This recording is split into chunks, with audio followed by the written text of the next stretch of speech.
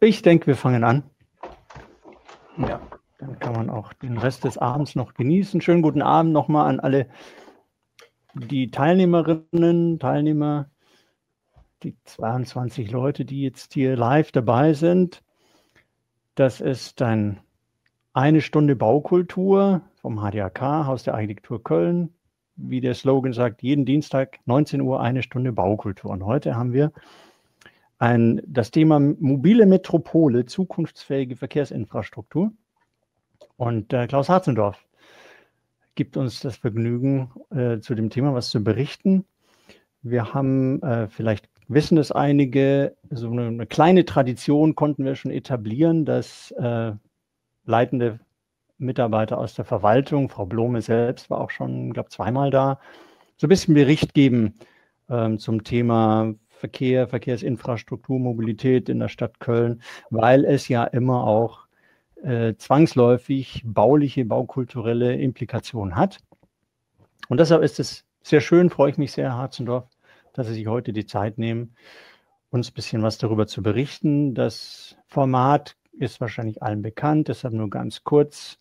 So halbe Stunde, knappe halbe Stunde etwa ist immer so ein Input, ein kleiner Vortrag. Und dann gibt es die Möglichkeit, Fragen zu stellen, Kommentare zu hinterlassen. Und da kommt jetzt die Chat-Funktion ins Spiel. Sie sehen, ich weiß nicht genau wo in Ihrem Fenster, aber irgendwo in Ihrem Bildschirmfenster müsste Chat stehen. Und da kann man ihm schreiben, ähm, was Ihnen auf dem Herzen liegt. Frau Jula Thormann, die Geschäftsführerin des HDRK, wird ein besonderes Augenmerk auf den Chatverlauf haben und wird dann die Fragen entsprechend einspeisen und vielleicht auch ein bisschen clustern, ähm, sofern es ähnliche Fragen sind. Ich finde es immer persönlich ganz nett, wenn man so ein bisschen was über den Referenten oder die Referentin weiß. Deshalb habe ich äh, Herrn Hatzendorfs Mitarbeiterin gebeten, mir ein bisschen was zu verraten, aber so seine Vita, und da finde ich es sehr interessant. Also er ist, er aus dem Bergischen Land, ein, ein Kind aus der Region und seit wenn ich richtig gerechnet habe, seit 57 Jahren mit kleinen Unterbrechungen in Köln. Ähm, ich selber bin erst seit sieben Jahren in Köln, also noch ein IMI, glaube ich. Bei 57 Jahren ist man dann kein IMI mehr. Studiert hat der Bauingenieurwesen an der RWTH in Aachen und hat dann verschiedene Laufbahnspositionen gehabt, Lebverkehrsplaner in Leverkusen ähm, und noch ein paar andere. Seit 1991 ist er bei der Stadtverwaltung in Köln also auch schon mit allen Wassern gewaschen der hiesigen Verwaltung. Seit 2001 Leiter des Amtes für, das hieß am Anfang, das hat glaube ich mal den Namen gewechselt, ähm, für Straßen- und Verkehrstechnik. Und dann 2018 kleiner Umbenennung des Titels Leiter des Amtes für Straßenverkehrsentwicklung. Wenn Sie mehr über sich sagen wollen, wenn Sie denken, irgendwas sollte das Publikum wissen, damit es weiß, aus welcher aus welchem Blickwinkel Sie die Welt sehen, dürfen Sie mich natürlich gerne ergänzen. Aber hiermit beende ich mal mein kleines Intro und bitte die Jola, die Folien zu zeigen. Ich stelle mich jetzt mein Mikrofon ab und übergebe Ihnen das Podium. Herr Harzendorf, vielen Dank schon mal. Ja, äh, sehr geehrte Damen und Herren, erstmal schönen guten Abend äh, und vielen Dank an Herrn Brandt für die freundlichen Worte. Ja, da gibt es äh, ehrlicherweise wahrscheinlich für Sie gar nicht viel mehr zu, zu sagen. Also ich kenne Köln, glaube ich, einigermaßen gut und das ist in, Job, in dem Job, den ich da so mache, ist das, glaube ich, schon äh, ziemlich äh, bedeutungsvoll. Frau Blome war angefragt, ist, hat es leider heute nicht ermöglichen können, äh, diesen Termin wahrzunehmen, hätte sie gerne gemacht äh, und äh, ich habe es aber eben auch sehr gerne übernommen. Ja, das Thema Metropole und Mobilität ist natürlich ein ganz, ganz wichtiges. Die Metropole Köln, äh, die wäre so in der Form, glaube ich, gar nicht möglich, wenn nicht äh, Mobilität auch sichergestellt werden äh, könnte. Und das ist natürlich auch ein Thema und das ist dann die, die, die zweite Unterschrift. Das muss natürlich in der Zukunft eben auch gewährleistet sein. Ein Riesenthema in allen Kommunen. Ähm, auch in Köln, gerade die Kommunalwahlen und die dazu durchgeführten Umfragen haben das äh, nochmal sehr deutlich gezeigt, dass das, äh, dass das ein ganz wichtiges und sehr bedeutendes Thema ist. Zukunftsfähig heißt aus meinem Blickwinkel auch, dass ein, das System eben umweltfreundlich ist, was immer das sein mag. Da werden wir auch gleich noch ein bisschen näher drauf eingehen. Es muss sicher sein. Man muss in der Tat äh, äh, nicht die Angst haben, dass man also quasi jeden dritten Tag einen Unfall hat. Wir müssen stärker auch noch äh, den öffentlichen Raum auch als Lebensraum betrachten, nicht nur als funktionalen Raum. Da sind wir auch auf dem Weg. Umgekehrt muss das System aber auch funktionsfähig, sprich auch leistungsfähig bleiben. Das sind also schon, schon sehr deutliche, sehr hohe Ansprüche, die da an das System gestellt werden und auch werden müssen letztlich. Äh, aber lassen Sie mich beginnen. Jetzt müsste es eigentlich weitergehen, tut es aber im Moment nicht. Also muss ich es mal so probieren. Ah ja, so funktioniert es. Ja, wieder zurück. Was ist unsere Ausgangslage?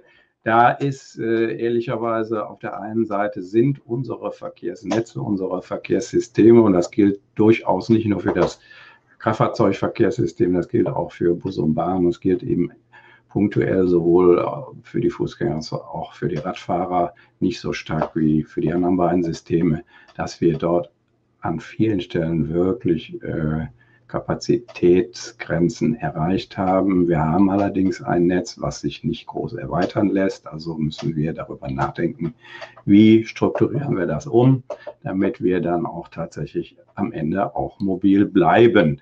Ein zweites großes Problem, äh, was wir auch in den letzten Jahrzehnten im Grunde genommen äh, erhalten haben, ist, dass der bauliche Zustand unserer Verkehrsanlagen, das gilt auch nicht nur für Köln und eigentlich in der gesamten gesamten Republik, dass es äh, schlecht ist, dass es erneuert werden muss. Vorteil ist natürlich, die Erneuerung ermöglicht es eben auch, äh, dann Veränderungen vorzunehmen und dann das System auch zu modifizieren im Sinne der Zukunftsfähigkeit. Wir haben ein zweites Thema, was die Mobilität sehr stark beeinflusst. Das ist nämlich das städtische Wachstum. Wir bekommen immer mehr Einwohner, immer mehr Einwohner äh, bewegen sich durch die Stadt und das führt natürlich zu äh, höherer Mobilität. Und das gilt in Köln, das muss man, das sieht man gleich auf dem nächsten Bild, nicht nur für die Stadt, sondern auch für die Region. Die Region wächst fast ebenso äh, wie die Stadt und das kann man an dem nächsten Bild sehr schön sehen. Äh, da kann man erkennen, oben links, dass fast 350.000 Menschen jeden Tag nach Köln einpendeln auf unterschiedlichen Wegen mit unterschiedlichen Verkehrsmitteln. Gut 160.000 pendeln aus und äh, etwas mehr als 400.000 Menschen bewegen sich innerhalb der Stadt, eben jetzt auch äh, von Berufswegen. Das heißt also, ein Pendler und das, was sich innerhalb der Stadt bewegt, ist in der Größenordnung ähnlich groß. Auch das, was sich in der Stadt als sogenannte Tagesbevölkerung, das sehen Sie unten rechts, bewegt, das äh, sind mehr Menschen, als wir Einwohner haben. Wir haben jetzt gut äh, 1.080.000 Einwohner. Das sind etwa 200.000 Menschen mehr, die dann tatsächlich sich durch die Stadt bewegen. Das heißt, es ist nicht, durchaus nicht nur ein städtisches Problem, äh, sondern es ist auch ein äh, Problem der Region mit. Also wir müssen die Region mit im Auge haben. Wir haben 2014, glaube ich, ähm, sozusagen so Leitplanken für die äh, zukünftige Entwicklung entwickelt. Das ist dieses Thema Köln Mobil 2025. Kernpunkt der Betrachtung ist dort oder Ziel oder der Zielsetzung ist natürlich den, den Model Split, den Verkehrsmix äh, zu verändern. Da geht es in erster Linie darum, äh, wie viele Menschen bewegen sich zu Fuß, mit dem Rad, mit Bus und Bahn oder mit dem Auto und welche Entwicklung wollen wir da haben und welche Entwicklung haben wir. In dem nächsten Bild, das ist im Grunde genommen, sind die gleichen Zahlen, ist das also auch nochmal ausgeführt. Wenn wir das jetzt über die Jahrzehnte betrachten und jetzt hier oben links mal den Fußverkehr sehen, hatten wir 1982 25 Prozent äh, Fußverkehr, der ist 2006 etwas runtergegangen und 2017 wieder hoch. Das heißt also auch, es wird äh, trotz allem doch etwas mehr zu Fuß gegangen, als das noch vor etwa zehn Jahren der Fall war. Der große Treiber äh, bei uns der Veränderung oder der Verkehrswende, das ist ganz eindeutig der Radverkehr. 82, 1982 hatten wir nur 9 Prozent. 2017 hat es eine große bundesweite Umfrage gegeben, waren es 18 Prozent. Heute schätzen wir, sind es 20 oder 21 Prozent. Der ÖPNV hat sich ähnlich wie der Fußverkehr zwar erhöht, aber nicht so stark wie der Radverkehr. Und äh, beim Autoverkehr ist es so, dass wir 1982 noch fast 50 Prozent haben. 2017 waren es 35 Prozent. Unser Ziel, jedenfalls für 2025, 33 Prozent. Das haben wir, glaube ich, jetzt fast schon erreicht oder haben es schon erreicht. Aber man kann zusammenfassend sagen, schon seit längerer Zeit nimmt die Bedeutung des Autoverkehrs ab im, äh, im Verkehr, im bewegten Verkehr, nicht so sehr im ruhenden Verkehr. Wir haben also, was die Zulassungen betrifft, bildet sich das nicht oder noch nicht ab, aber im bewegten Verkehr bildet sich das sehr stark ab.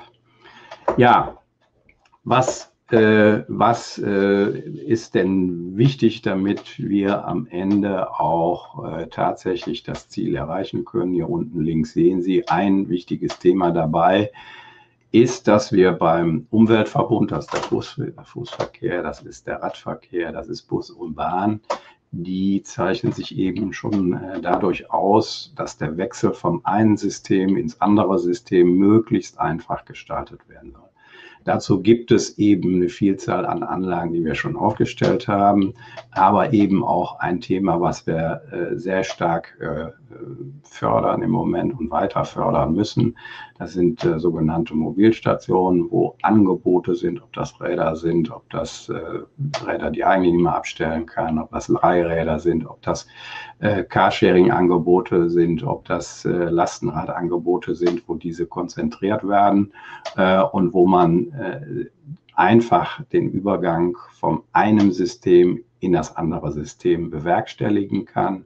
Das gilt am Ende nicht nur für den Personenverkehr, das gilt am Ende auch für den Güterverkehr. Dort äh, soll es eben auch Ziel sein und äh, dieses Pflänzchen wächst jetzt auch, dass man eben auch dort Stationen hat, die möglicherweise an der gleichen Stelle sind, aber auch an anderer sein können, wo eben Güter, die verteilt werden sollen in Geschäfte, die verteilt werden in Haushalte, in Büros, wo die dann eben zwischengelagert werden können und wo man die Feinverteilung letztlich mit einem umweltfreundlichen System, sprich beispielsweise mit einem Lastenrad, äh, bewerkstelligen kann.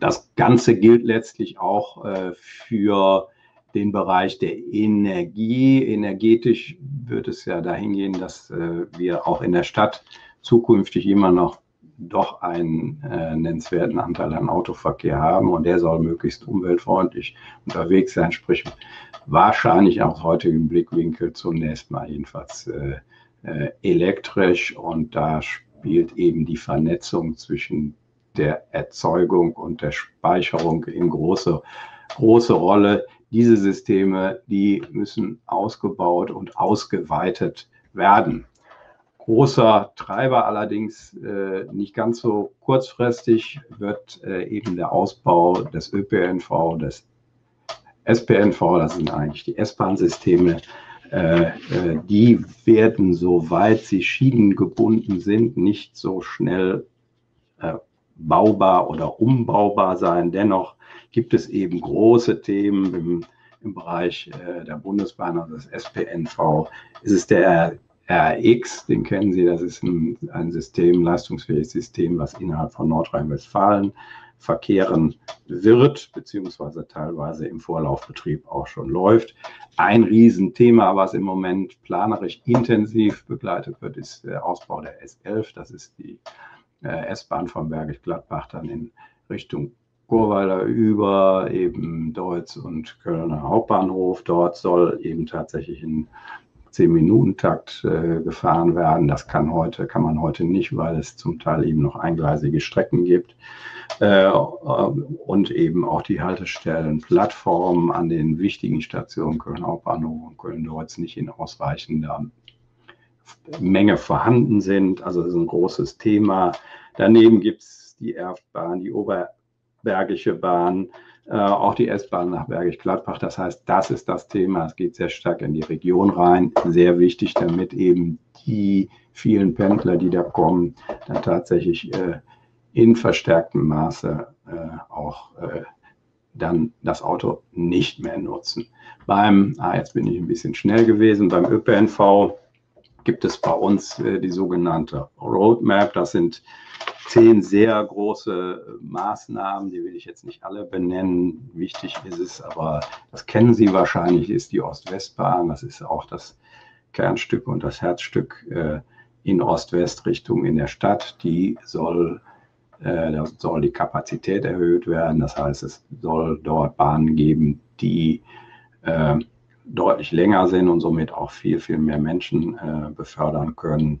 Wichtiges Thema ist dann daneben, dass die großen Erschließungsgebiete, die wir haben, zum Beispiel Rondorf, zum Beispiel Mülheimer Süden, zum Beispiel auch Zündorf, dass die dann tatsächlich auch sofort, äh, sprich also mit der Aussiedlung dann tatsächlich auch an die Stadtbahn angeschlossen sind. Daneben gibt es eben Themen, die regional sind. Eine Stadtbahn zum Beispiel von Bonn, Niederkassel nach Köln wird geplant. Wir äh, fertigen so im Moment eine Studie zum Wasserbussystem. Also alles große, große Themen, die allerdings alle nicht so schnell zum Zuge kommen. Deswegen hat es eben ergänzend dazu zu den Fahrplanwechseln, insbesondere die Jahre 2018, 2019, das wird 2020 auch so sein, äh, Dinge oder Veränderungen gegeben, die schneller möglich sind. Da kennen Sie sicherlich die Expressbuslinien, davon haben wir drei eingeführt. Es gibt äh, das äh, Thema, dass äh, wir dort den Nachtverkehr deutlich ausgeweitet haben dass jetzt zum Fahrplanwechsel auch der Samstagsverkehr sehr stark ausgeweitet wird.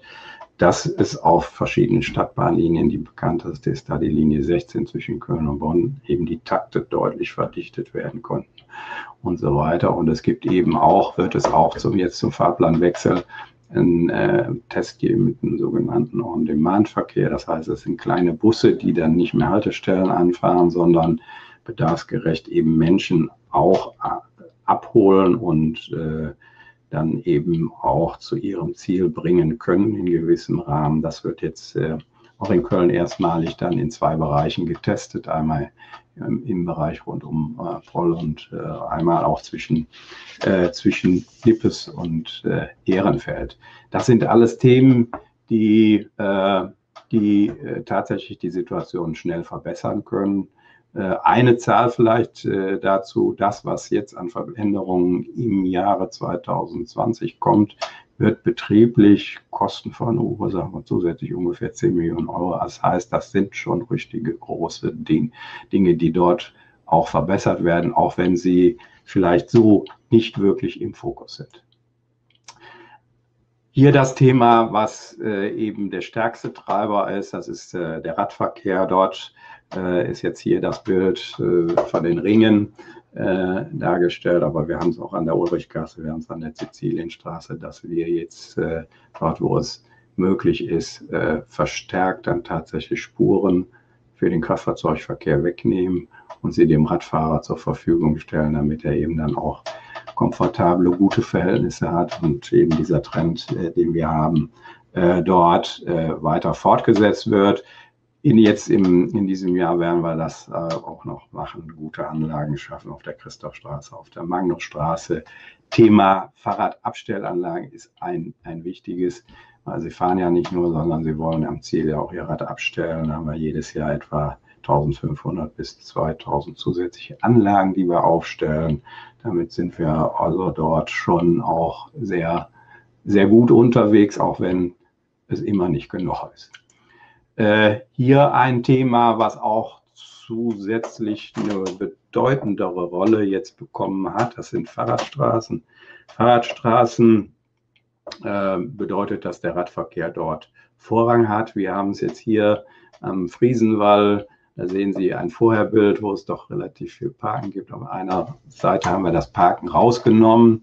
Es ist eine Einbahnstraße und haben die Fahrbahn verbreitert auf vier Meter, sodass man also Kraftfahrzeugverkehr und Radverkehr in Gegenrichtung gut aneinander vorbeikommen. Aber es geht hier auch durchaus nicht nur darum, den Radverkehr zu verbessern, sondern auch die Bedingungen für die Fußgänger zu verbessern. Das haben wir in dem Fall nicht so gemacht, dass wir die Straße umgebaut haben, sondern wir haben hier auf der rechten Seite, ja, sehen Sie so einen Streifen, wo es Fahrradabstellanlagen gibt, wo es eben Bänke gibt, wo es aber eben auch die Beschilderung und andere Möblierung gibt. Wir haben also die Möblierung äh, weitestgehend, 100 Prozent ging das nicht aus Kostengründen, weitestgehend in diesen Streifen, äh, Streifen verlagert, sodass äh, dann tatsächlich der, äh, der Fußgänger auch mehr Raum hat. Also das Thema geht nicht nur um das Thema, äh, um das Thema äh, Radverkehr und Fußverkehr, sondern auch jeder Radweg, der auf die Fahrbahn äh, verlagert wird, führt natürlich im Umkehrschluss auch dazu,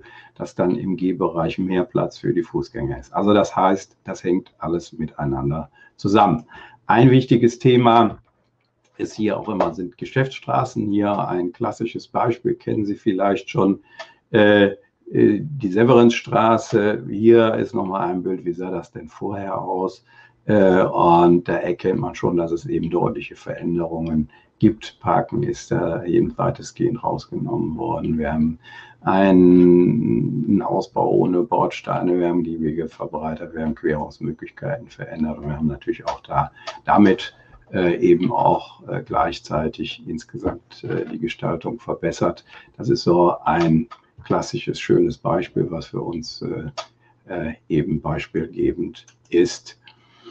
Äh, Thema Digitalisierung wird auch im städtischen Verkehr eine Rolle spielen. Einmal ist hier dargestellt, dass äh, autonomes Fahren, wenn es denn abgestimmt ist auf die Signalschaltung, sehr wohl dann auch dazu führen kann, dass man angepasster fährt. Hier oben ist, ein, ist das Beispiel äh, dargestellt. Ähm, was passiert, wenn absehbar ist, dass äh, das Fahrzeug eben, oder es könnte dann auch ein Rad sein, ähm, tatsächlich vor Rot fährt, dass man dann nicht Vollgas bis zur Ampel fährt und dann bremst, sondern dass man dann, an, dass man dann eben angemessen fährt.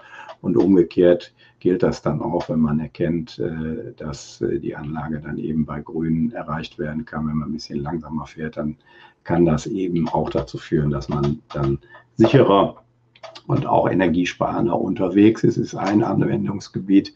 Das viel wichtigere Anwendungsgebiet, auch das nur beispielhaft, da wird es auch viel, viel mehr noch geben, ist das Thema, wie bekomme ich im, als Teilnehmer im Umweltverbund aktuelle Informationen darüber, wo stehen Räder, wo habe ich Carsharing-Fahrzeuge, wann fährt die nächste Bahn ab. Da brauche ich eben, und das kann man eben übers äh, Smartphone sehr schön machen, hochaktuelle und vollständige Informationen. Darüber hinaus ist es natürlich dann auch möglich, und es geht heute zum Teil schon, aber eben auch nur zum Teil, dass man dann äh, sich berechnen lässt, wie kann man denn dann tatsächlich am schnellsten, am energiesparsten oder wie auch immer unterwegs sein und kriegt dann Empfehlungen, was wirklich sehr, sehr wichtig ist, was es eben auch im Moment ja in Ansätzen gibt, aber noch nicht so vollständig, dass man dann, dann, tatsächlich auch über dieses System dann quasi automatisch bezahlen kann. Es wird dort immer unterschiedliche Anbieter geben und wenn man dann bei jedem Anbieter immer einzeln buchen muss, abrechnen lassen muss, ist das sehr aufwendig. Und wenn das äh, sehr, äh, sehr einfach der Fall ist, wird das, glaube ich, in dem, dem System nochmal einen richtigen, einen richtigen Schub geben letztlich. Hier nochmal eher so klassische Themen. Ein Thema ist natürlich das, die Frage Baustellen. Wie wickeln wir sie ab? Wie ermöglichen wir Baustellen? Welcher Raum ist da notwendig? Wie äh, ermöglichen wir es, dass, wir, dass man eben auch unter sehr beengten Verhältnissen dann tatsächlich auch angemessene Angebote für alle Verkehrsteilnehmer macht, wie koordiniert man äh, große Baustellen, die in räumlicher Nähe sind untereinander. Das sind alles Themen, die wir, die wir abwickeln. Was kann man nur in verkehrsschwachen Zeiten am Wochenende oder in den Ferien machen? Also dieses Thema, das äh, glaube ich, machen wir schon ganz gut. Äh, ein Nebenthema, äh, das sind also Schwertransporte, also Transporte, die besonders schwer sind, die aber auch besonders lang und die besonders breit sind. Die haben heute äh, in Köln und nicht nur in Köln, also große Schwierigkeiten, weil wir tatsächlich Infrastruktur haben, in erster Linie Brücken, die dann es teilweise gar nicht mehr zulassen, dass diese Fahrzeuge darüber fahren. Die haben also sehr, sehr, sehr große Umwege, müssen sie in Kauf nehmen. Und da ist äh, die Idee und das, was wir auch umsetzen, da auch dafür ein Netz, ein sehr kleines Netz allerdings äh, zu entwerfen und das dann eben entsprechend auch äh, auszugestalten und auch Azure zu halten. Thema, was uns, äh, was, äh, wo wir glaube ich auch, ich glaube die ersten sogar in Deutschland sind, ist die Frage, inwieweit äh, ist denn Lkw-Verkehr oder sind die Belastungen von Lkw-Verkehr in der Stadt äh, tatsächlich vermeidbar, was es Lärm, was Lärm betrifft und äh, auch was natürlich die Abgase betrifft. Da haben wir sozusagen als erste die Lkw-Durchfahrtverbotszone eingerichtet. Ich glaube schon auch mit, mit Erfolg ist ein Thema, was äh, zum äh, Luftrein zur Luftreinhalteplanung gehört. Dazu habe ich jetzt äh, keine Folie. Da möchte ich äh, ehrlicherweise auch nochmal daran erinnern, dass wir so vor einem Jahr noch sehr stark und intensiv über diese Fahrverbote geredet haben, dass wir mittlerweile aber eine Situation haben durch eine Vielzahl von Einzelmaßnahmen, die wir umgesetzt haben. Ich glaube, so ungefähr um die, um die 100 in, den, in, in der letzten Zeit, dass wir dort äh, eigentlich über andere Möglichkeiten die Werte so weit gesenkt haben, dass nicht mehr zu erwarten ist, dass wir Grenzwerte äh, dass wir Grenzwerte dort reißen. Und das heißt eben durchaus, äh, wenn ich dann Fazit ziehen darf, dass mh, hm, ja eben das Thema klimaneutrales äh, Köln auch bei der Verkehrswende ein groß, großes Thema äh, ist, ein viel größeres noch als das Stickoxid, weil CO2 sehr viel äh, präsenter ist. Äh, aber das heißt, dass die Verkehrswende, wenn sie eben zum Umweltverbund geht, da auch einen nennenswerten Beitrag äh, leistet. Wir brauchen eben, wie gesagt, dann umweltverträgliche äh, Mobilitätsangebote. Eben, sie sollten auch Innovationen nutzen. Sie müssen aber auf der anderen Seite eben auch der leistungsfähig sein. Das heißt, man muss in vertretbaren Zeiten auch tatsächlich seinen Weg zurücklegen und das sollte natürlich möglichst mit den alternativen Verkehrsmitteln sein und deswegen stärken wir eben sehr stark den ÖPNV. Äh, wir mm, haben das Ziel, eben immer mehr Räume auch für Rad- und äh, Fußverkehre zu entwickeln und eben auch das Thema Gestaltung, dass eben Straßenwegeplätze eben nicht nur eine reine funktionale ähm, äh, Einrichtungen sind, sondern dass es eben auch attraktive und verkehrssichere und barrierefreie Systeme sein äh, sollen. Und äh, das Thema Erhaltung hatte ich äh, schon mal äh, angedeutet, ist ein wichtiges, weil wir eben Infrastruktur haben, die in die Jahre gekommen ist. Das Ganze soll eben, wenn wir es umgestalten, auch zukunftssicher sein. Das heißt eben bedarfsgerecht, barrierefrei und zukunftsfähig äh, fähig, um das mal in, in allgemeinen Worten auszudrücken. Jetzt zum Abschluss vielleicht noch zwei, drei Sätze. Es hatten wir, waren Sie wahrscheinlich noch nicht alle dabei. Zu Corona. Was hat äh, Corona im Verkehr bewirkt? Also ganz am Anfang hat es eben schon bewirkt, dass äh, äh der Autoverkehr deutlich zurückgegangen ist, dass äh, der ÖPNV sehr deutlich zurückgegangen ist, dass der Radverkehr, äh, dass der Radverkehr zugenommen hat, dass eben einfach auch Fahrten vermieden worden sind, zum Beispiel durch Home, Homeoffice. Jetzt sind wir sozusagen wieder äh, in der Phase der, der Entwicklung zurück. Äh, ÖPNV hat sich noch nicht so richtig erholt. Äh, der Autoverkehr hat schon, schon fast wieder normal. Der Radverkehr hat zum Glück äh, die Zuwachsraten, die er hatte. Und, und, ich glaube auch, dass eben dieses Thema, die Erfahrung, die man mit Homeoffice macht, äh, dazu führen werden, dass also im Berufsverkehr auch die Fahrten ein Stück weit zurückgehen. Summa summarum äh, muss man sagen, es wird ein bisschen was sich durch Corona ändern, aber ich glaube nicht, dass das äh, so wesentlich sein wird. Das wird uns äh, die Problematik, die Probleme, die wir haben, nicht lösen. Wir werden also weiter intensiv in dieser Richtung arbeiten müssen, äh, die ich Ihnen genannt habe. Ja, jetzt bin ich am Ende angekommen, darf mich bedanken und stehe natürlich für Fragen zur Verfügung. Ich danke Ihnen. Wunderbar. Ganz herzlichen Dank, Herr Hatzendorf. Schon mal sehr aufschlussreich. Ich habe nebenbei ein bisschen den Chat verfolgt.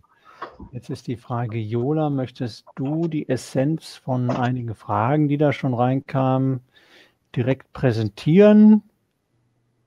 Ich hätte auch sonst auch welche. Ähm, ja, es kam eine Nachfrage, die sich konkret auf eine äh, Fahrradstraße bezog. Und zwar, äh, warum das Projekt, äh, wann das Projekt von Folie 11 ähm, abgeschlossen sein wird. Ähm, es fehle nämlich noch die beschlossene Drehung der Einbahnstraße in der Mitte. Das ist der entscheidende fehlende Punkt, merkt Christoph Schmidt an. Mhm. Gut, also das ist sozusagen etwas, was nachträglich gekommen ist, nach der Einrichtung mit dem Thema befassen wir uns auch noch. Und das ist auch die Frage in dem Fall dann tatsächlich äh, überhaupt der Erreichbarkeit des gesamten Quartiers. Hintergrund sollte der sein oder ist der, dass man dort vermutet, dass es dort Durchgangsverkehre gibt. Das betrachten und versuchen wir noch. Ich kann Ihnen jetzt im Moment noch nicht sagen, wann das dann tatsächlich abgeschlossen ist. Gut, dann gibt es noch eine Frage zur Stärkung des ÖPNV. Ähm, wie wird sichergestellt, dass bei den neuen geplanten Stadtvierteln Kreuzfeld, Parkstadt Süd, Deutzer Hafen etc. der ÖPNV in Form von S- und U-Bahn vor der Bebauung da ist? Naja, also Ziel soll natürlich sein, dass der da ist, äh, dass, wenn dann tatsächlich auch Menschen damit fahren. Es hat natürlich keinen Sinn, ihn zu haben, wenn auch keiner da wohnt.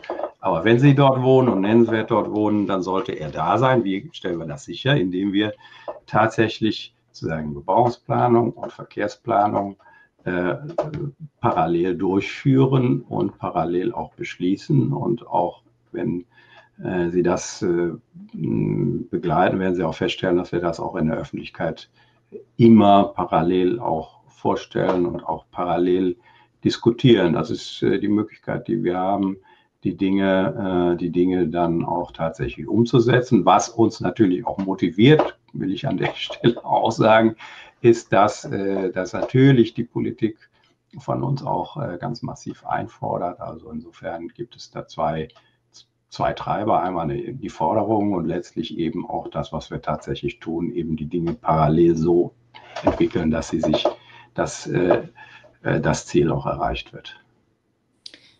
Dann gibt es eine Frage zur Fahrradinfrastruktur. Oft sind die vorhandenen Radwege in einem schlechten Zustand, zum Beispiel am Militärring.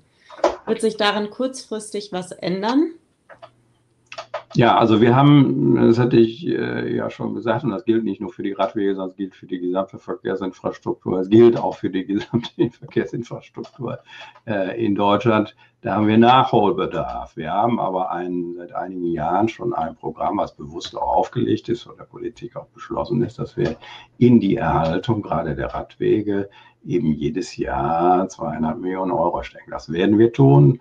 Und wir haben das im Bereich des Militärs auch in einem Teilstück getan und sind allerdings dort auch nicht so schnell unterwegs, wie wir das gerne hätten, weil wir dort eben ja doch sehr deutliche, hm, naja, sehr deutlich eben auf die vorhandene Umwelt, sprich Wasser, auf Tierwelt, auf äh, Pflanzenwelt eingehen müssen. Und das fordert uns äh, schon auch eine Vielzahl wirklich an Gutachten ab. Das heißt, es ist durchaus nicht nur damit getan, die äh, das baulich zu verändern, sondern die Vorbereitungen sind leider doch äh, sehr viel aufwendiger, als wir uns das selbst auch vorgestellt und vor allen Dingen auch gewünscht haben. Ne? Das Thema Fahrrad beschäftigt viele. Ähm, so auch äh, eine Frage von einem Teilnehmer. Gibt es Pläne, weitere Fahrradstraßen, insbesondere auch rechtsrheinisch einzurichten? Was sind die Kriterien dafür? Ja, also wir haben das äh, Thema Fahrradstraßen, das hat dann Fahrt aufgenommen wird auch weiter an Fahrt aufnehmen.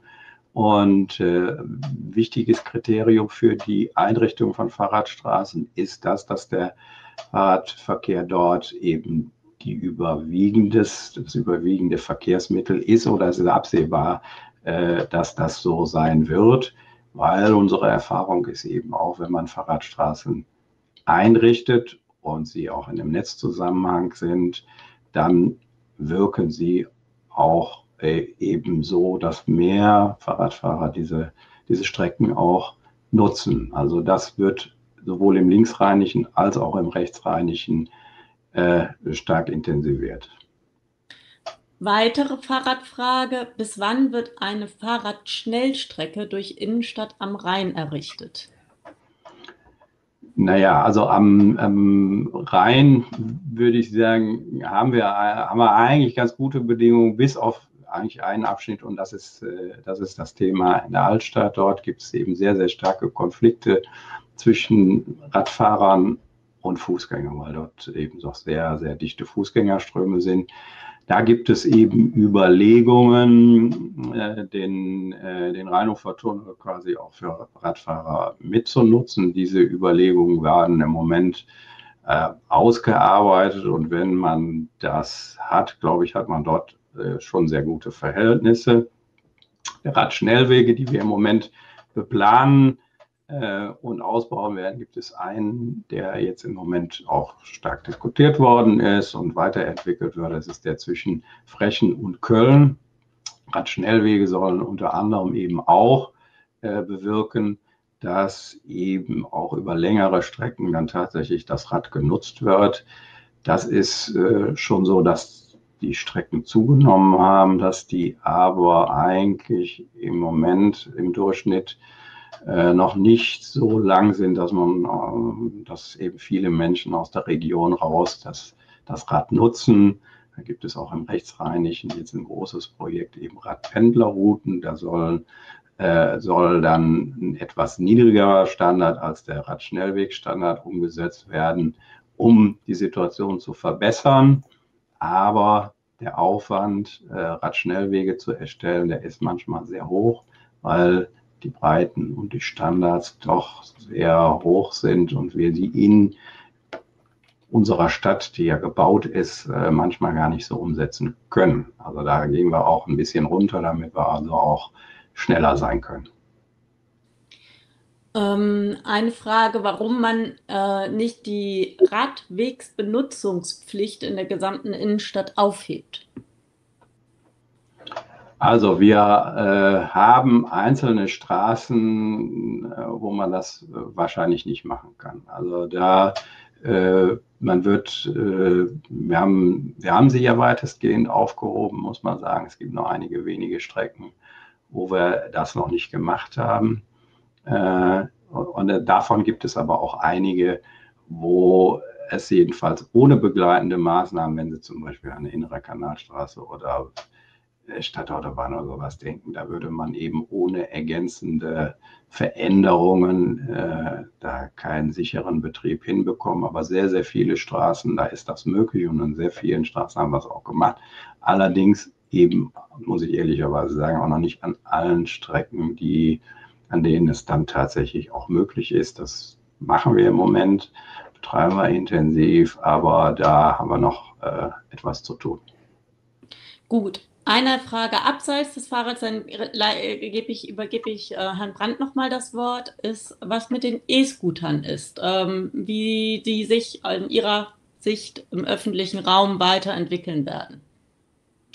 Ja, also E-Scooter ist, ist schon so ein, so ein Thema. Wir hatten schon, glaube ich, mal die Hoffnung, dass das vielleicht ein Thema ist, was sich, äh, was so eine Modeerscheinung ist. Das scheint offensichtlich so nicht zu sein, weil sie haben, haben sich gehalten, die Rahmenbedingungen für den Betrieb, insbesondere das Abstellen von solchen Anlagen, die sind in den Gesetzen so nicht äh, zutreffend äh, berücksichtigt, weil das auch eine ziemlich neue Erscheinung ist. Äh, deswegen haben wir dort schon eine ganze Menge Probleme mit äh, falsch abgestellten E-Scootern. Wir haben, sind so vorgegangen, eigentlich wie alle anderen Städte auch, dass wir freiwillige Vereinbarungen äh, mit den Betreibern abgeschlossen haben. Zum Beispiel haben wir Zonen, beispielhaft rund um den Dom, auf der Domplatte, da dürfen diese nicht abgestellt werden, beziehungsweise dass die, die, dass die, die Miete nicht beendet werden. Wir haben jetzt rundum angefangen, im Zusammenhang mit dem Verkehrskonzept Altstadt auch Bereiche jetzt auszuweisen, wo man sie abstellen kann. Seit einigen Monaten gibt es da auch rein rechtlich die Möglichkeit, am Straßenverkehrsrecht auch tatsächlich solche Abstellanlagen auszuweisen. Das hatten wir vorher nicht. Äh, und das tun wir dort auch und werden das auch stark ausweiten. Damit wollen wir jedenfalls erreichen, dass das etwas geordneter, insbesondere das Abstellen geordneter stattfindet. Die Fragestellung, äh, wie unfallträchtig ist denn das Verkehren äh, mit diesen E-Scootern, das ist ein Thema, da hat, hat sich äh, die Polizei sehr intensiv, meine ich, in Köln drum gekümmert und führt da auch immer wieder Kontrollen durch, um da also einer, ich sag mal, gefährlichen Nutzung entgegenzuwirken. So, das ist so das, was bei uns im Moment so stattfindet. Und äh, die Möglichkeiten, die wir da haben, auch darauf Einfluss zu nehmen. Grundsätzlich äh, kann man es sozusagen sehr schwierig äh, verbieten. Auch das Abstellen ist äh, im Grunde genommen fast überall möglich, es sei denn, es ist Verkehrs, stehen verkehrsbehindernd. Dann ist es aber auch die Frage, wer, wer, wer beseitigt das denn, wie läuft das denn ab? Da haben wir schon Vereinbarungen mit den Betreibern, dass wenn solche Problematiken aufstellen, die das auch äh, ich mal kurzfristig dann beseitigen und umstellen. Das machen sie auch und einsammeln. Aber es gibt da trotzdem äh, immer noch Probleme und äh, wir werden diese Problemlagen versuchen zu reduzieren. Das hatte ich ja schon geschildert, mit welchen Maßnahmen wir das versuchen. Okay, da darf ich mal rein. Ich habe mich auch im Chat mal angemeldet mit einer Frage. Ah ja, ähm, sehr gerne. Ich, ich pflichte den, den äh, Fragen von vorher uneingeschränkt bei, dass, dass es sehr wichtig ist, sich ganz konkrete Orte, äh, Plätze, Kurven anzugucken. Also der Teufel sitzt ja oft im Detail. Ich möchte aber ganz bewusst mal ganz weit rauszoomen, äh, das große Bild sehen, auch vor dem Hintergrund des jüngsten Wahlergebnisses da wird ja das Thema Klimaneutralität eher noch verstärkt. Ähm, und dann habe ich einfach mal versucht, versuche ich mal so ein bisschen Basis-Mathematik zu machen. Wenn ich mir die Modal-Split-Daten angucke, ähm, für MIV ist er ja zurückgegangen, der, der Anteil, der prozentuale Anteil, und soll noch weiter zurückgehen auf 33 Prozent, 2025 stand auf der Folie. Sie haben aber auch gesagt, äh, Bevölkerung wächst, ähm, vielleicht wachsen auch Fahrzeugstrecken. Also mich interessiert, was ist denn die absolute äh, Fahr Fahrzeugkilometerleistung, die in Köln so täglich abgeleistet wird? Wenn der Modalsplit runtergeht für MIV, aber die Gesamtanzahl der, der fahrenden Menschen noch raufgeht, ist ja vielleicht der absolute Effekt nahe Null. Oder jedenfalls ich fürchte, weit davon entfernt von dem, was wir brauchen, Klimaneutralität zu erreichen. Wie ja. kriegen wir das hin? Ja, das ist sicherlich, also Klimaneutralität ist ganz klar, das ist nicht kurzfristig erreichbar bei den Rahmenbedingungen, die wir dort haben. Es gibt ja ganz viele verschiedene Ansätze, wie es da, wie es da gibt. Also einmal das Wirkungsvollste ist natürlich ganz eindeutig Nutzung von Systemen, die im Grunde genommen kein CO2 emittieren, also zu Fuß gehen, äh, mit, dem, mit dem Radfahren.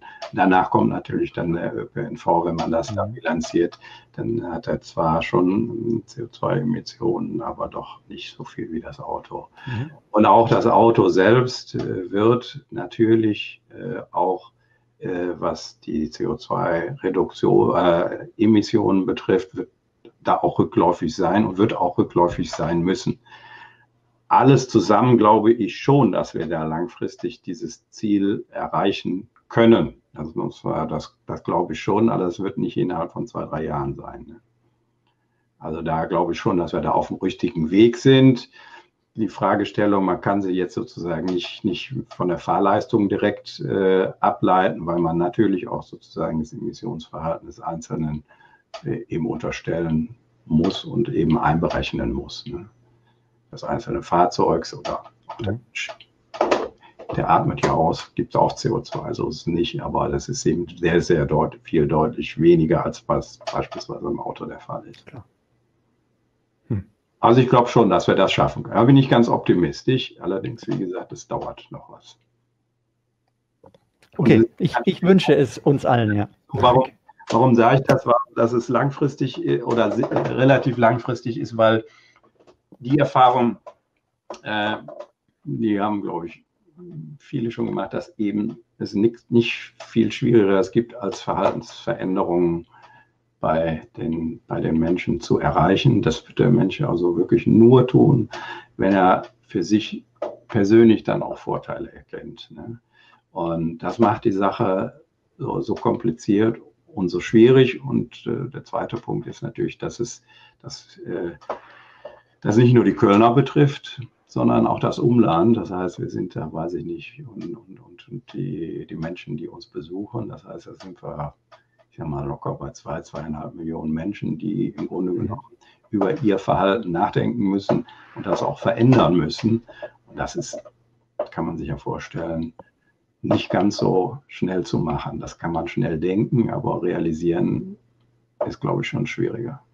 Corona hat da natürlich sehr viel. Also gibt's ja, es war kein politischer Mut. Corona war ein, ein Schicksal oder wie auch immer, aber da hat man schon gesehen, es kann schon auch schnell sein. Aber ich gehe wieder zurück an die, an die anderen Teilnehmerinnen. Jola, möchtest du noch, wir haben noch gut zehn Minuten. Genau, wir haben auch noch mal ein paar Fragen, ähm, die sich vor allen Dingen auf das Thema Fahrradstraßen beziehen. Ähm, da wird gefragt, kann man Fahrradstraßen vorschlagen inklusive Begründung? Und an wen sende ich einen solchen Vorschlag? Ja, also Vorschläge können Sie machen. Das ist, kann sogar sehr hilfreich sein. Also Sie sollten es schon an den Fahrradbeauftragten schicken der Stadt Köln. Der hat auch Postfach, man kann es per E-Mail machen, man kann es per Brief machen, je nachdem, wie man das gerne möchte. Und dort wird sich dann des Themas angenommen und es wird dann eben eingeordnet. Kann ja sein, dass es das schon in, in den Plänen gibt. Es kann sein, dass es sich anbietet, nochmal eine Ergänzung ist. Es kann aber auch sein, dass es sich eben nicht begründet eben nicht anbietet, aber da wird sich dann mit dem Thema auseinandergesetzt und wenn das eine Idee ist, die sozusagen uns weiterbringt, dann werden wir die natürlich auch aufnehmen. Ja, und dann fragt ein Teilnehmer, äh, was ist die Erklärung dafür, dass in Köln ca. 95 Prozent aller Fahrradstraßen für Kfz geöffnet sind, obwohl der Gesetzgeber dies als absolute Ausnahme definiert hat? Naja, also das liegt natürlich daran, äh, dass wir ja äh, fast an jeder Straße tatsächlich auch äh, Menschen haben, die da wohnen, die da arbeiten und äh, dass man das dann das Auto komplett ausschließen kann. Das ist im Übrigen auch in allen anderen Städten so, die haben gleiche Situation.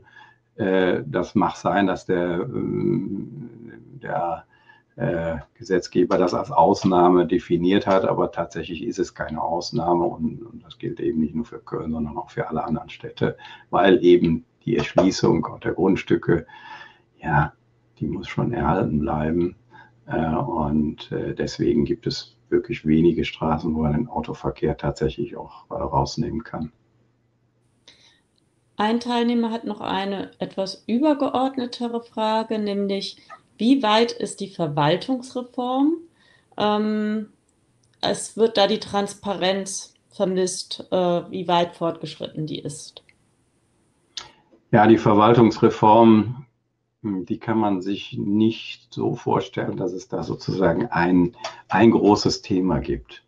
Sondern die Verwaltung, die besteht ja, das ist ja im Grunde genommen ein Konzern, sind da so 20.000 Menschen. Und es gibt äh, ich sage immer, die Verwaltung, das ist auch so ein Gemischtwarenladen. Ne? Da haben Sie, äh, da haben Sie Verkehr, da haben Sie soziale Fragen, da äh, haben Sie im Grunde genommen Kultur, alles Mögliche. Da gibt es sehr, sehr, sehr viele Vorgänge, Abläufe. Und wenn Sie was verändern wollen, müssen Sie im Grunde genommen jeden Ablauf oder jeden Prozess sich anschauen und überlegen, gibt es dort Verbesserungsmöglichkeiten, was ist da eben einfach äh, schlecht daran, was muss erhalten bleiben, was kann wirklich verändert werden. Und das ist alles sehr, sehr, sehr, sehr kleinteilig. Ähm, und deswegen ist es, glaube ich, auch sehr schwierig, das, äh, ich sage mal, sehr konkret äh, darzustellen. Also es sind wirklich viele, viele, viele, viele Einzelprojekte, die da abgewickelt werden. Äh, und äh, das ist auch der Grund, warum es nicht so einfach ist, das äh, nach außen zu tragen. Und es ist auch nicht so, dass man dann sofort sieht, okay, jetzt kriege ich meinen Personalausweis beispielsweise, dauert es nicht sechs Wochen, sondern es ist in einer Woche abgewickelt. Das, das wird man kaum sehen. Die, die Veränderungen, die sind da eher ja, äh, nicht so große, so großer Natur, aber in der Summe, wenn man viele, viele, viele Vorgänge, viele Abläufe betrachtet, wird man dann auch äh, dauerhaft eine Veränderung haben. Auch, also das heißt, das ist schon ein langwieriger und langfristiger Prozess, um da tatsächlich, äh, tatsächlich auch spürbare Veränderungen dann nach außen hin darzustellen zu können. Es gibt noch eine weitere Frage äh, zum Thema Projekt Kölner Fahrradgürtel. Können Sie dazu etwas sagen? Also Sie, Sie, Sie meinen, äh, meinen das Thema die Gürtelstraße. Also die, wir haben ja eine, eine Ringstraße, die ist, der, die ist der Gürtel. Und da gibt es jetzt im Zusammenhang, ich nehme mal an, dass das gemeint ist, äh, das ist im Zusammenhang mit dem Radverkehrskonzept Ehrenfeld sehr stark thematisiert worden. Dieses Radverkehrskonzept ist äh, noch nicht abgeschlossen. Das heißt, äh, da muss es ja nochmal einen Beschluss über Inhalte geben und es muss auch letztlich auch einen Beschluss über ähm, darüber geben, in welcher Priorität setzt man dann jetzt welches Projekt um. Das äh, gibt es so noch nicht. Ich gehe aber davon aus, äh, dass äh, dieses Thema Gürtel dort äh, schon eine bedeutende Rolle äh, äh, spielen wird. Und da muss man sagen, da muss man das aber wirklich im Detail auch betrachten, weil der Gürtel zwar von der Lage her klar ist, er liegt im Stadtverkehrlich, ist das aber durchaus der Gürtel sehr, sehr unterschiedlich zu betrachten.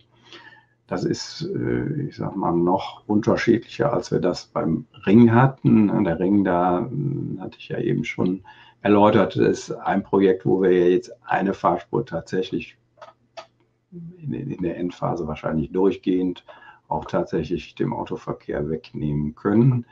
Das äh, muss für den Gürtel dann, wenn wir einen Auftrag äh, tatsächlich haben, auch untersucht werden und äh, überlegt werden, wann man das wie machen kann.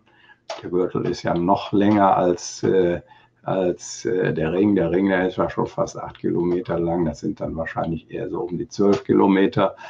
Äh, und das heißt, das wird auch kein Projekt sein, äh, was äh, sehr schnell umsetzbar ist, weil wir da eben auch eine ganze Menge Rahmenbedingungen haben. Das fängt mit der Stadtbahn an, das ist mit, mit Querungsverhältnissen, das hat was äh, damit zu tun. Wir haben da in, in weiten Bereichen einen schönen Baumbestand und so weiter. Es gibt also wirklich viele, viele Themen, die dann beleuchtet werden müssen im Detail. Herr Brandt hat das ja schon gesagt. Letztlich liegt am Ende äh, äh, ja das Problem auch oftmals im Detail und das äh, werden wir dann, wenn wir tatsächlich den Auftrag haben, werden wir das auch beleuchten. Dann wird noch eine Frage gestellt. Äh, angenommen, die Forderungen nach Klimaneutralität 2030 werden zu festen politischen Beschlüssen. Welche Maßnahmen werden Sie konkret umsetzen, um das Ziel zu erreichen? Ja, da kann ich nur sagen, das wird ein großer Mix an Maßnahmen sein. Zielrichtung kann aber nur sein, dass wir versuchen, und äh, auf dem Weg sind wir ja, äh, eben den Umweltverbund, also die Mobilität äh, zu stärken, die dann tatsächlich einen großen Beitrag auch leistet, diese Klimaneutralität äh, zu erreichen. Wie das im Prinzip aussehen kann, habe ich, glaube ich, in meinem Vortrag, äh, Vortrag schon dargestellt. Was das im Einzelnen sein wird, das werden dann schon sehr, sehr viele Maßnahmen sein, die man da umsetzen muss. Es werden nicht nur Hunderte, sondern es werden wahrscheinlich am Ende auch Tausende sein müssen, äh, die dann tatsächlich zusammen zum Erfolg führen können.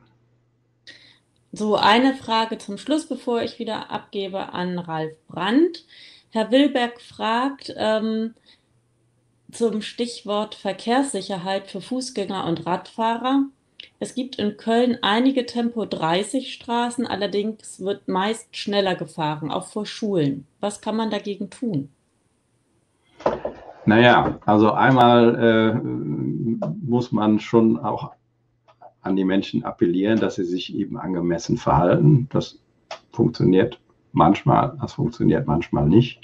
Es gibt die Möglichkeit, äh, zum Beispiel auch, äh, das ist so, eine weichere Maßnahme, äh, eben den Menschen auch zu zeigen, wie schnell sie fahren mit entsprechenden Geräten, die sie an der Straße haben. Sie können Überwachung machen. Wir machen zum Beispiel zum Schulbeginn äh, so äh, Vorhaben, dass Schüler sich auch an die Straße stellen und rote Karten und grüne Karten für Verhalten verteilen.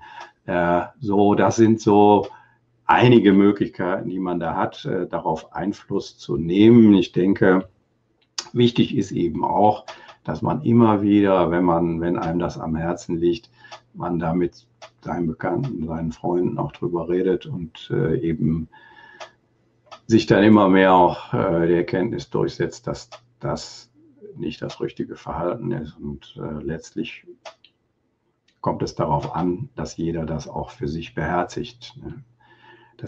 Kann man natürlich mit, äh, mit äh, ordnungspolitischen Maßnahmen ein Stück weit beschleunigen.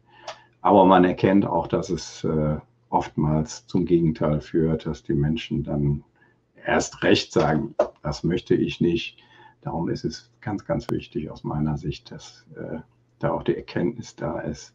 Ja, also da gibt es eben in der, in der Nähe der Schule, wenn man so schnell fährt, eben schon Gefahren, die man wirklich vermeiden kann. Also Zeitgewinn tut man damit wirklich auch nicht. Ne? Also das, ja, das ist eigentlich das, was man da aus meiner Sicht machen kann, was wir beitragen können, aber was auch jeder selbst beitragen kann. Super. Ganz herzlichen Dank nochmal, Herr Harzenhoff, auch für das, das sehr pünktliche äh, Vortrag. Der war, glaube ich, genau 27 Minuten. Perfekt. Absolut super. Ähm, danke, Jola, für das Einspeisen der Fragen. Danke auch an alle Teilnehmerinnen auch für den Stil der Diskussion. Also ich weiß nicht, Herr Harzendorf, ob Sie den Chat tatsächlich sehen können. Da steht mehrmals vielen Dank für die Antwort, Dank für den Vortrag. Ich finde es ist schön, dass man so miteinander spricht, nachdem ja gerade Verkehr auch durchaus zu Recht auch ein emotionales Thema ist. Ja. Ähm, die Diskussion geht mit Sicherheit weiter. Ich hoffe, dass wir Sie oder Frau Blome auch in Zukunft wieder im HDRK begrüßen können. Nachdem wir ein paar Sekunden noch haben, erlaube ja. ich mir noch die letzte Frage. Ja. Ähm, äh, das, Ihr Amt heißt äh, Amt für Straßenverkehrsentwicklung. Mhm. So ein Amtstitel wird ja sehr bewusst gewählt. Ich genau. weiß nicht, ob Sie ihn gewählt haben. Ich nehme an, nicht mal.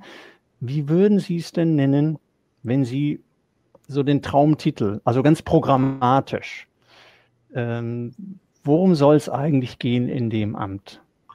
Ja, also der, der Grund, warum der Name gewechselt wird, ist, hat auch damit zu tun, dass es Umorganisation gab. Wir mhm. haben also einen, ist ein, ein, eigenes Amt für Verkehrsmanagement äh, gegründet worden. Das war vorher eine Abteilung in meinem Amt, die sich eben mit äh, diesen signaltechnischen Fragen, die sich mit äh, eben auch Verkehrssteuerung befasst haben und auch weiter befassen.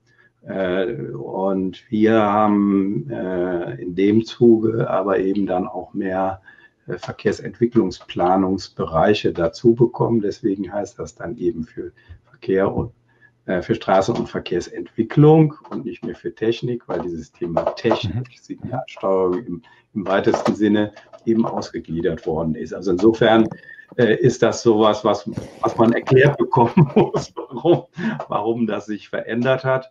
Und das hat einfach auch damit zu tun, dass äh, das Thema Verkehr sehr viel präsenter ist, wir uns als Verwaltung auch ein bisschen anders aufstellen müssen, stärker auch differenzieren müssen. Also insofern äh, ist das ein bisschen sperriger Name. Der wird aber einfach deswegen so sperrig, weil es immer mehr Organisationseinheiten gibt, die sich mit dem Thema im weitesten Sinne Verkehr befassen.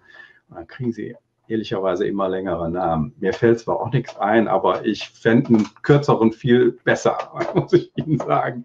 Äh, und, aber es ist sozusagen die, die, Natur der Sache. So, zum Abschluss möchte ja. ich mich, ich habe sie eben nicht lesen können, weil ich mich sehr stark eben dann auch auf die Fragen konzentriert habe, was die, äh, was die Teilnehmer da jetzt an Reaktionen äh, gebracht haben. Also dann darf ich mich an der Stelle eben einmal, ich habe es ja schon, ich habe ja schon gemerkt, für die, ja, für die klugen, für die sachlichen Fragen beantworten. Und wenn es dann auch eine positive Kritik gegeben hat, dann, dann äh, darf ich mich dafür doppelt bedanken. Es ist ein emotionales Thema und emotionale Themen, die sind auf der einen Seite spannend, die machen Spaß, aber die sind auch manchmal anstrengend. Also insofern bin ich immer ganz froh, äh, wenn sie dann engagiert, aber nicht überengagiert sind. Und äh, dafür möchte ich mich dann auch bei allen Teilnehmern nochmal ganz recht herzlich bedanken. Der Dank von unserer Seite und jetzt den wohlverdienten Feierabend. Wir sehen ja. uns, wir, Herr Herzendorf und sicherlich einige Leute aus, den, aus der Teilnehmerschaft, hoffentlich bald auch wieder mal von Angesicht zu Angesicht Notfalls auch mit Maske, aber hoffentlich irgendwann auch wieder mal ohne Maske. Bleiben Sie gesund und vielen Dank. Schönen Abend.